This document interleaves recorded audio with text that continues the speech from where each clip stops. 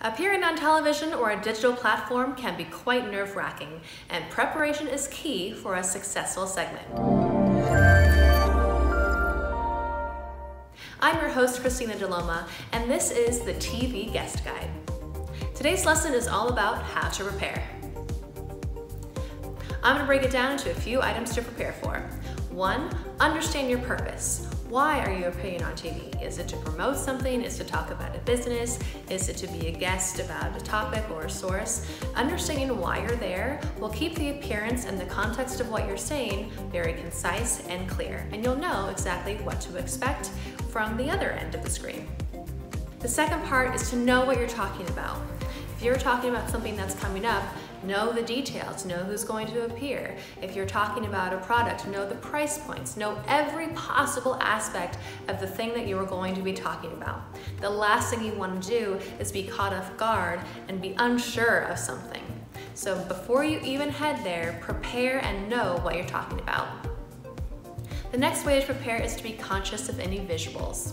By that I mean, are you expected to have um, a video handy? Are you expected to bring a book? Are you expected to have a full display of items? And if so, what items are they? How do they go? How are you going to set them up?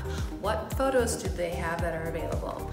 If you're not the person who's booking you on TV and you're just a spokesperson, ask the question of what visuals will I be referencing, if any. Another way to prepare is to get every single possible detail of your appearance.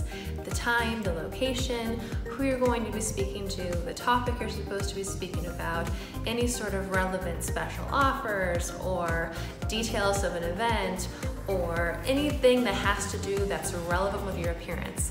Having someone just tell you to appear at a TV station or that a TV station is coming to you is not really ideal in a situation.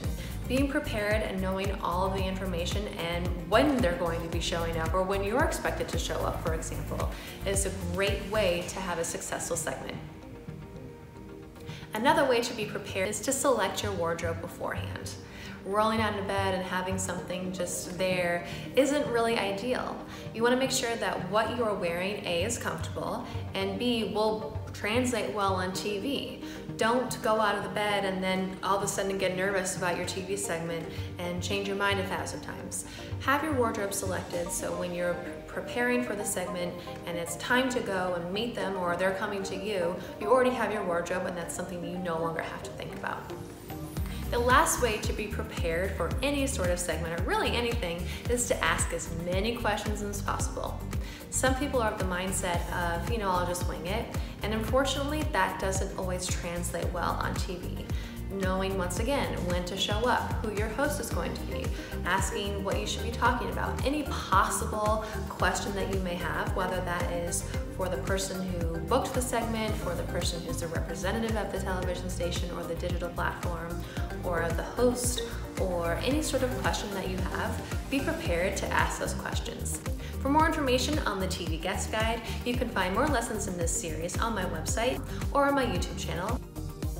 Before you go, make sure to like this video, hit the bell to subscribe, and get a free gift in the description of this video. And I'll see you on the screen.